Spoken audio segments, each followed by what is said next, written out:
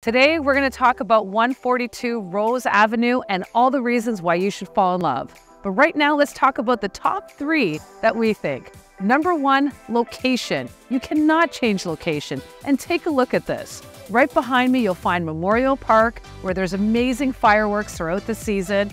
And you have the community center right to my left over here. And that's where you'll find swimming pool, the library, and again, so many different things that you can participate in. And now, Dolores, take it away.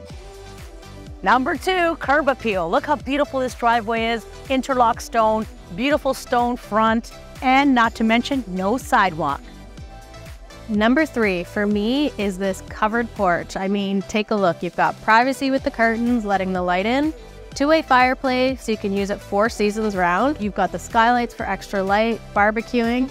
It's a great addition to the home.